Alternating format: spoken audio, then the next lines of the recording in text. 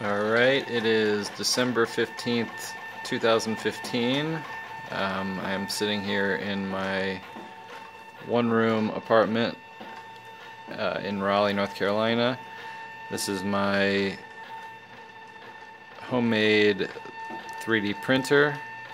It uses the uh, Bowden extrusion system, which feeds the filament through that Teflon tube into the hot end um, I've gotten some really good prints out of it so far, uh, just within the last month, even though I'd say this is about two years in the making. Um, I'm an architecture graduate student, so I was able to actually print uh, some 3D parts for my final models and such. This is a print of, well this will be my first print trying to uh, make something that has dynamic parts and it's a as you can see it's an adjustable wrench. And I've got the print speeds pretty low um, and also the layer height rather low. So this is my setup.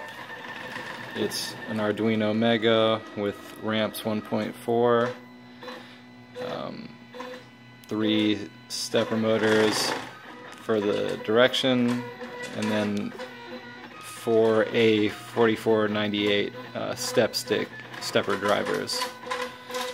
Um, this is some really nice threaded rod that I was able to find on eBay. It's uh, metric, but it's um, it's really smooth and resistant to wear. You just have to make sure to get the corresponding um, nut to fit it, and so it's not exactly cheap. Anyways, this is this is it so far. I, I have also tried printing with this stuff, as you can see there, which is a sort of metal, metallic, metalloid plastic filament. Uh, it's pretty nice. You can um, polish it to a pretty good finish. I'll, I'll be sure to take a video using that uh, another date.